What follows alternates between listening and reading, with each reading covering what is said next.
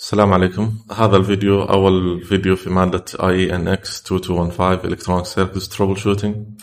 حنتكلم في البداية عن أشياء عامة في المادة بعدين ندخل فيها بشويش. أول حاجة درجات توزيعها. زي ما أنتم عارفين في quiz 1 و midterm quiz 2 final في الأسابيع الموجودة على الشاشة. quiz 1 عليه 10 درجات quiz 2 10 درجات وال midterm 30 وال final 50 الحضور والغياب برضو زي ما أنتم عارفين لما تتأخر دقيقة نحطك late خمس دقائق أو أكثر absent ثلاثة late تعطيك واحد absent أو تتحول إلى واحد absent وإذا تغيب أكثر من أسبوعين اللي هي 13 ساعة تاخذ DN بسبب الظروف الحالية زي ما أنتم عارفين أنتم حتحضرون ساعتين إلى ثلاث ساعات في الورشة. فلما تغيب الساعتين أو ثلاث هذه حتحسب لك ست ساعات. فانتبه من هالنقطة. طيب كيف بتمشي الدورة هذه أو المادة هذه؟ بالنسبة لي أنا بحط فيديو في بداية كل أسبوع أشرح فيه المادة. بعدين حيكون في اختبار صغير وبسيط قبل ما تجي الحصة. الهدف من الاختبار أن يكون عندكم حافز أن تشوفون الفيديو قبل ما تجون للعملي. لأن لما نجي للورشة بيكون في عملي بس أو أفضل أنه يكون في عملي أكثر من نظري يعني. أي أسئلة بالنسبة للمادة سواء أسئلة لها علاقة بالشرح أو أسئلة عامة آه، اسألها في ال class لما نتقابل مع بعض أو تقدر تسألها في Discord. إذا حتسأل في ديسكورد آه، اسأل في ال group العام. لا ترسل لي أسئلة خاصة إلا إذا كان عندك فعلا شيء خاص. يعني آه، إذا بتناقشني في الدرجة مثلا أو بتناقشني في شيء يتعلق فيك خصوصا ارسل لي في الخاص مو مشكلة. طيب ندخل في المادة. المادة هذه هي تكملة للأشياء اللي أخذتوها في مادة electronic circuits وتكملة للجزء الثاني في electronic circuits اللي يتعلق بال digital practical في المادة هذه ما يعتبر شيء جديد لأنكم سويتوه في electronic circuits بس الهدف منه أن نعلمك كيف توصل وكيف تحلل وكيف آه، تصلح دوائر كبيرة ومعقدة. فهذا الهدف من العمل يعني. المادة هذه تاريخيا ما كنا ندرسها في المعهد لكن آه، المعهد أول ما فتح كان يحاول يسوق نفسه للشركات فكان يزورها ويقول لها عن البرنامج حقنا وكذا. فمن الشركات اللي رحنا لها كانت أرامكو وأرامكو شافت المنهج حقنا وقالت أن المفروض المادة هذه تكون موجودة في المنهج. طبعا ما أدري إيش اللي صار بعدين هل اللي يتخرج يتوظف في ارامكو على طول أو لازم يمر بالبرنامج حقهم اللي اسمه ال ITC علشان يروح بعدين. في النهاية شافت الإدارة أن حتى لو أرامكو ما اقتنعت فينا المادة هذه مفيدة لطلابنا بشكل عام يعني عشان كذا صارت جزء من المنهج. المادة هذه آه، فيها شوي تعقيد فيها أفكار جديدة. ما أسميها صعبة لكن تحتاج التركيز. فصعوبة المادة أشوفها متوسطة ما هي سهلة ولا هي صعبة يعني. طيب قبل ما نبدأ في المادة حنراجع بعض الأشياء اللي أخذناها في digital electronics اخذته في البداية numbering systems اللي فيه آه، الأرقام ال decimal وال binary ال decimal اللي هو من صفر لعشرة وال binary وال binary صفر وواحد هذه بعض الأرقام واللي قابلها بال binary واللي قابلها بال hexadecimal hexadecimal آه، نظام اللي نسميه 6 عشري اللي يعتمد على العدد 16 يمكن في digital electronics كنتوا تعاملون بال binary بس binary و decimal لكن ال hexadecimal مهم برضو في الإلكترونيات بشكل عام فلازم نعرفه. فنشوف هنا أن ال decimal فيه صفر إلى تسعة. بعدين نستخدم خانة العشرات علشان نقول عندنا العدد عشرة. آه، في ال binary نستخدم خانة العشرات بسرعة في, في الرقم اثنين لأن ال binary فيه صفر وواحد فإذا انتهت الأرقام نروح للخانة الثانية اللي هي خانة العشرات. أو في الحالة هذه طبعا ما حتكون عشرات حتكون خانة الاثنينات أو الاثنين. في ال hexadecimal في عندنا 15 عدد في خانة الآحاد فنبدأ من صفر إلى تسعة بعدين A B C D E F. ال F يقابلها 15 إذا بتقول إن عندك 16 تسوي زي ما سوينا في الأنظمة الثانية تستخدم خانة العشرات اللي هي حتكون خانة الست عشرات في النظام هذا ال hexadecimal طبعا ليش اخترعنا نظام ال binary؟ علشان نحول الأعداد إلى كهرباء. إذا حولنا العدد إلى كهرباء نقدر نسوي بعدين عمليات حسابية باستخدام الآلة الحاسبة أو نقدر نخزن العدد هذا أو نقدر نرسله من مكان إلى مكان. أنا مثلا لما أبي أحط درجة أخزنها في نظام المعهد وأنت لما تبي تعرف الدرجة تروح لنظام المعهد وتأخذها من هناك. فهذا عدد حولناه إلى كهرباء علشان نقدر إن نخزنه. طيب عشان نحول العدد إلى كهرباء نقدر أن نقول أن العدد واحد يقابله واحد فولت واثنين يقابله اثنين فولت ثلاثة ثلاثة فولت وهكذا. بعدين شفنا إن النظام هذا فيه شوية عيوب. من ضمنها إن نحتاج ال power supply علشان يعطينا الفولت المتغير هذا من واحد إلى اثنين إلى ثلاثة إلى آخره، والشيء الثاني نحتاج الأجهزة دقيقه علشان لما أرسل واحد فولت ما يوصل هناك اثنين فولت أو نص فولت مثلا، فنسبة الخطأ لازم تكون جدا محدودة. عشان كذا سوينا نظام ال binary قلنا فيه قيمتين صفر وواحد والواحد هذه ممكن تكون 5 فولت أو 10 فولت عادة نخليها 5 فولت. فإذا بغيت العدد صفر حترسل صفر فولت العدد واحد ترسل خمسة فولت. العدد اثنين حتستخدم وايرين wire فيه صفر wire فيه خمسة فولت وهكذا. كل ما تزيد الأسلاك معناها نقدر نزيد القيمة اللي نقدر نرسلها في هذه الأسلاك. طيب أنظمة الأعداد هذه كلها تؤدي نفس الوظيفة يعني توصف كمية. فإذا عندي الكمية 12 أبي أضيفها الكمية 14 زي ما أنتم عارفين في ابتدائي نقدر نحط الأعداد فوق بعض زي كذا. نضيف الآحاد مع الآحاد والعشرات مع العشرات. فيطلع العدد آه، ستة في الآحاد واثنين في العشرات. طيب لما نضيف binary نفس الشيء يصير. آه هذا هو العدد 12 حولناه إلى binary. وهذا العدد 14 حولناه إلى binary. فلما نضيفهم على بعض صفر زائد صفر تساوي صفر صفر زائد واحد واحد واحد زائد واحد اثنين لكن في ال binary الاثنين هي صفر واحد فحطينا صفر وواحد حطيناه باليد حطيناه هنا باليد واحد يعني. بعدين نضيف الواحد اللي فوق هذا زائد واحد زائد واحد يعطينا العدد ثلاثة والعدد ثلاثة بالباينري هو واحد واحد. فهذا هو الناتج هذا الناتج كله. هذا الناتج لما تحوله إلى ديسيمال حتلاحظ أنه 26 فالأعداد سواء كانت بالنظام هذا أو بالنظام هذا تعطينا نفس الفكرة أو تؤدي نفس الوظيفة. نبي نوصف كمية. أبي أقول أن عندي 12 طالب أو 12 قلم مثلا. فسواء حطيت الرمز هذا علشان أقول 12 أو الرمز هذا علشان أقول 12 الفكرة واحدة لكن النظام بس هو اللي يختلف. طيب طالما سوينا نظام ال binary لازم نعرف نحول بينه وبين ال decimal. فحنشوف في البداية مثال كيف نحول العدد 40 إلى binary. هذه برضو المفروض سويتوها في electronic circuits أول شيء نحط مضاعفات الاثنين 2 أس 0 2 أس 1 2 أس 2 أو طبعا قيمها اللي هي 1 2 4 8 16 32 بعدين من الأرقام هذه نكون العدد 40 فالعدد 40 هو 32 ويبقى 8 8 هذه. ف نحط واحد تحت الأعداد اللي نستخدمها وأصفار تحت الأعداد اللي ما نستخدمها. فهذا هو الناتج الأربعين بالنظام ال decimal يتحول إلى العدد هذا بنظام ال binary. طبعا العشرة هذه دلالة على أن هذا العدد decimal والإثنين دلالة على أن هذا العدد binary. لأني لما أحط واحد صفر مثلا آه، الواحد صفر هذه ممكن تكون اثنين لو كانت بالنظام binary وممكن تكون عشرة إذا كانت بنظام ال decimal فاتفقنا أن نحدد النظام بالطريقة هذه نحط 10 أو 2 أو 16 إلى آخره. طيب إذا حنسوي العكس لو عندي هذا العدد binary أبي أحوله إلى decimal الطريقة ناخذ العدد ونحط فوقه مضاعفات الاثنين 1 2 4 8 إلى اخره. بعدين نضيف الأعداد اللي تحتها واحد. ف 128 زائد 8 زائد 4 زائد 1 يطلع الناتج 141 مرة ثانية هذه سويتوها في electronic circuits فهذه بس للمراجعة. طيب نظام ال hexadecimal اللي عادة تستخدمونه في ال level 2 لو بحول العدد 20 إلى نظام hexadecimal في طريقتين، الطريقة الأولى نحول العدد إلى binary فحطينا مضاعفات الاثنين وكونا العدد 20 اللي هو 16 زائد 4 هذا العدد بنظام الباينري. بعدين حناخذ العدد هذا الجديد ونقسمه إلى مجموعات كل مجموعة فيها أربعة أرقام. فحناخذ الأربعة أرقام الأولى جهة اليمين وهذه حتكون مجموعة. وناخذ الواحد هذا ونضيف له الثلاث أصفار علشان يكون مجموعة من أربع أرقام. بعدين نحول كل مجموعة إلى عدد نظام الهكساديسمال فهذا واحد صفر صفر هو العدد أربعة والواحد هو العدد واحد. فواحد أربعة يوازي أو يساوي العدد 20 في نظام الديسمال الطريقة الثانية علشان نحول من ديسمال إلى هكساديسمال نقول إن العشرة أو الواحد صفر في نظام الهكساديسمال معناها 16 وحدة.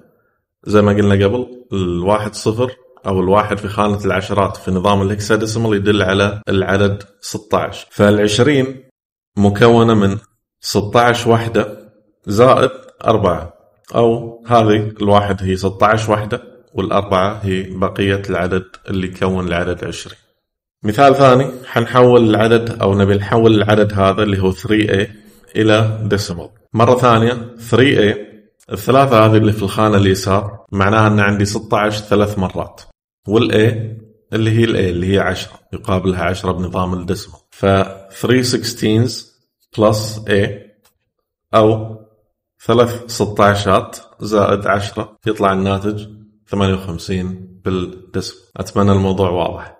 إذا نظام ال binary سويناه علشان نحول اعداد إلى voltage أو إلى إشارة كهربائية. لكن بعد فترة في ناس قالت ليش ما نحول كل شيء إلى voltage كل شيء يحتمل احتمالين إلى voltage فمثال إذا كان الباب مفتوح نعطيه واحد أو نرمز له بالرقم واحد أو خمسة فولت وإذا كان الباب مسكر نرمز له بصفر فولت. آه، إذا كانت الدنيا نهار واحد وليل صفر. إذا كانت ممطرة واحد غير ممطرة صفر. آخر شيء إذا كان عندك مفتاح مثلا بتروح تفتح باب ممكن نحط bit يرمز لل هل عندك المفتاح أو لا. إذا عندك واحد فيفتح الباب. وإذا ما عندك صفر. وما تقدر تفتح الباب. طيب أخذنا برضو في electronic circuit حاجة اسمها logic gates وال logic gates وظيفتها أنها تنفذ أوامر معينة إذا تحققت بعض الشروط. ف AND مثلا تعطينا واحد بشرط أن ال A وال B اللي هم مداخلها يكونون واحد واحد. ال OR تعطينا واحد. إذا أي من المداخل كان واحد الجدول هذا غلط. المفروض أنه صفر واحد واحد واحد. ال NOT اللي يدخل فيها ينعكس ويطلع وهكذا. هذه يعني ماخذ يعني عارفينها فما يحتاج نقضي وقت كثير فيها. كل logic gate في لها رمز. ال AND مثلا يرمز لها A ضرب B أو A B على طول. ال OR يرمز لها ب A plus B. الزائد هذه معناها OR. وال NOT يرمز لها بالشرطة اللي فوق. نسميها A bar أو A NOT ال XOR رمزها زائد داخل دائرة. ال NAND اللي هي عكس ال AND عبارة عن AND بين A و B. وفوقهم ال NOT NOR. عكس ال OR فواضحة وال XNOR عكس ال XOR هذه XOR هذه بس عكسناها فوق. هذه ال logic gates لازم تعرفونها بشكل ممتاز يعني لأن حنستخدمها كثير في معظم الدروس النظرية والعملية. طبعا هذه الصفحة موجودة في الكتاب صفحة أربعة في الكتاب. صفحة خمسة فيها مجموعة من الأسئلة. ما راح أحلها بس بحط الحل بعد شوي. أنصحكم تحلونها قبل ما تشوفون الحل وتتأكدون إذا كان صح أو لا. طيب صفحة سبعة في الكتاب فيها تطبيق للي أخذناه إلى الآن لل logic gates وتحويل الأشياء إلى binary. في الكتاب مكتوب Let's try to build a digital circuit that controls the light in a classroom. فبنسوي دائرة تتحكم باللمبة أو الإنارة داخل الفصل. الشروط اللي تخلي الضوء هذا يشتغل the light should be on whenever there is someone inside the room. إذا كان في أحد في الغرفة or when the door of the room is open. أو إذا كان الباب مفتوح. The light should be off when there is nobody inside and the door is closed. عشان نحل مسائل من هالنوع أول شيء نحول كل الأشياء اللي عندنا إلى باينري إلى صفر وواحد فالغرفة مثلا احتمال انها تكون فاضية نرمز للشيء هذا بصفر واحتمال انها تكون مشغولة فنرمز للشيء هذا بواحد. طبعا في الواقع حنستخدم حساس والحساس يقول لنا إذا إذا في أحد أو ما في أحد. فالحساس في النهاية حيعطيك إشارة صفر أو واحد. الباب إذا كان مفتوح نرمز للشيء هذا بواحد وإذا كان مسكر نرمز له بصفر. طبعا تقدر تعكس هذه تقدر تقول أبي يكون إذا مفتوح صفر وإذا مسكر واحد مو مشكلة. الحل النهائي بيختلف لكن المنطق نفسه. فما تأثر هذه على التطبيق كله. آخر شيء لمبة الفصل. إذا كانت مشغلة نرمز هذا بواحد. وإذا كانت off نرمز له بصفر.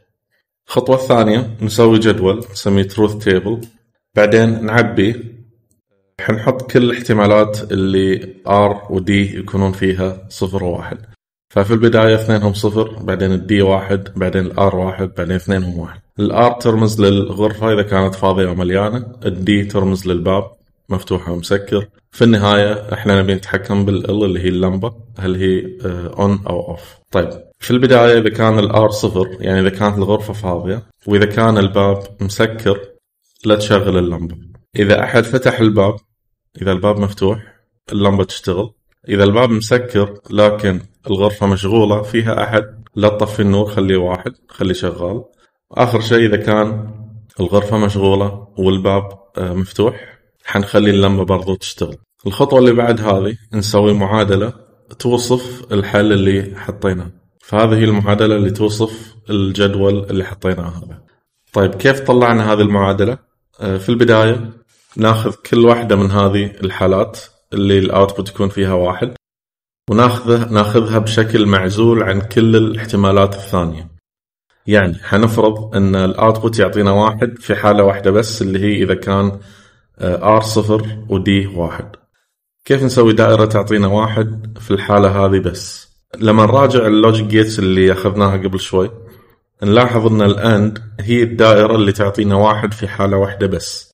لكن الحالة هذه إذا كانت ال R وال D أو إذا كانت مداخل ال AND واحد. فهنا عندنا ال D واحد. هذه ما فيها مشكلة لكن ال R صفر فلازم نعكسها علشان نجبرها إنها تدخل في AND وتعطينا واحد. هذه بالنسبة للسطر الأول أو الحالة الأولى. الحالة الثانية نفس الشيء. ال R واحد وال D صفر حنحطهم في AND لكن ال D حنعكسها علشان نجبرها تصير واحد. فكذا طلعنا الاحتمال أو الحالة اللي تعطينا واحد. إذا كان بس ال R واحد وال D صفر والباقي ما لنا شغل فيه. يعني قاعدين نعزل كل حالة عن الثانية. آخر شيء ال R وال D واحد واحد فما في شيء يحتاج لعكس. بعدين بعد ما طلعنا كل الاحتمالات هذه بشكل معزول عن بعض نجمعها باستخدام الأور باستخدام الزائد. فالزائد هذا يقول إذا تحقق هذا الشرط اللي هو هذا العمود أو هذا الصف في الجدول أو إذا تحقق هذا الشرط أو إذا تحقق هذا الشرط يعطينا في ال واحد أو حنشغل اللمبه طبعا هذه الطريقة في الحل حنستخدمها بشكل كبير وحناخذ عليها كويز 1 وحنسوي لها أكثر من مثال. فإذا كان عندكم مشكلة فيها حتتوضح إن شاء الله مع الوقت. بعدها الخطوة الأخيرة نرسم الدائرة اللي تمثل هذه المعادلة. هذا هو الحل. طبعا بدينا إحنا بالطرف اللي في النص R D في البداية عندنا هنا AND في عندنا R D not ف R تروح في AND مع D not هذه ال not معكوسة. Okay؟ هذا الطرف الثاني. الطرف الأول not R D فحناخذ سلك من R ندخله في NOT نعكسه ونحطه في AND مع سلك من D آخر شيء R D ناخذ wire من R وناخذ wire من D ونحطهم في AND وفي النهاية كل هذول بينهم OR فاللي يطلع من الثلاث احتمالات هذه يروح في OR وهنا ال هنا اللمبة. فهذه الدائرة الكاملة اللي تشغل اللمبة إذا كان الباب مفتوح أو إذا كانت الغرفة مشغولة. طيب صفحة 10 في الكتاب فيها مسألتين مكتوبة بعنوان case 1 و case 2 هذه جربوا تحلونها؟ إذا أحد عنده سؤال يسألني. طيب حنروح لموضوع ثاني في الكتاب. اسمه Boolean simplification أو تبسيط المعادلات. تبسيط المعادلات أو تبسيط الدوائر له ميزات كثيرة منها أن توصيل الدائرة واكتشاف الأخطاء فيها يكون أسهل. والشيء الثاني أرخص. مثال الدائرة هذه اللي حليناها قبل شوي نقدر نختصرها في الدائرة هذه مجرد أور واحدة. فتوصيل هذا أسهل بكثير من توصيل هذا. والوظيفة واحدة يعني هذه الدائرة اللي على اليمين تؤدي نفس وظيفة الدائرة الكبيرة هذه على اليسار. الشيء الثاني هذه أرخص. هذه عبارة عن OR بس اللي هي 7432 الباقي حتحتاج إلى OR وتحتاج إلى AND وتحتاج إلى NOT. فتحتاج إلى ثلاث اللي نسميهم IC ات أو ثلاثة ICs علشان توصل الدائرة هذه كلها. هنا إذا الغرفة مشغولة تشتغل اللمبة وهنا إذا الباب مفتوح تشتغل برضو اللمبة. طيب إذا عندنا مشكلة نبي نحلها مثل المشكلة اللي قبل شوي تشغيل اللمبة. كيف نبسط الحل لها؟ في عندنا علاقات نسميها Boolean identities العلاقات هذه تساعدنا في التبسيط. ففي البداية في عندنا علاقات ال AND A and A يساوي A A and واحد يساوي A A and صفر يساوي صفر وهكذا. هنا علاقات ال OR. هنا تحت علاقات آه، تشبه العلاقات الرياضية شوي. إذا عندنا A and B or C نقدر نكتب هذه على انها A and B or A and C. العلاقة هذه غريبة شوي لكن نستخدمها كثير. إذا عندنا A or not A B هذه تساوي A or B. إذا عندنا آه، قوسين مثل هذه نقدر برضو نعتبر هذه ضرب. نضرب ال A في القوس الثاني. بعدين or أو زائد نضرب B في القوس الثاني. آخر شيء المعادلتين هذه نسميها دي مورغانز ثيورم تقول إذا عندنا نور بين A و B. نقدر نكتب هذه أو نقدر نكتب هذه بطريقة ثانية. A not and B not. وإذا عندنا NAND بين A و B نقدر نكتبها على أنها not A or not B.